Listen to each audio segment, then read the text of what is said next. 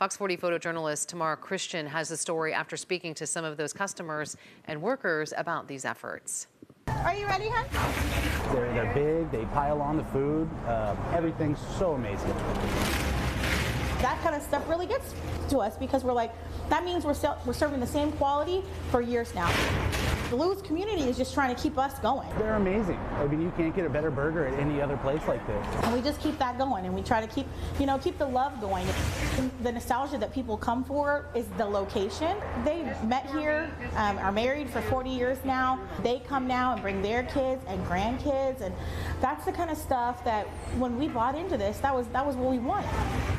It wasn't just a building or a business to us. Like Lou, he actually started a really great thing. And it's kind of been a staple in the, you know, the whole neighborhood. I'd, I'd love to see places like this stick around, you know, just being able to come out here, sit down, watch the cars drive by, eat some food. It's, it's amazing. Honestly, it's really humbling when they come to the window. They're like, "Man, we don't want to see you guys go. Like, what what what can we do?" I love bringing my kids here. He absolutely loves it. Um, it's one of the reasons we're here today.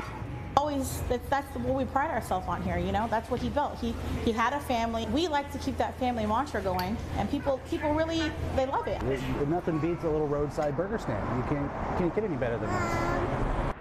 And Lou's Burgers tells us its landlords are planning to increase its rent by $2,000.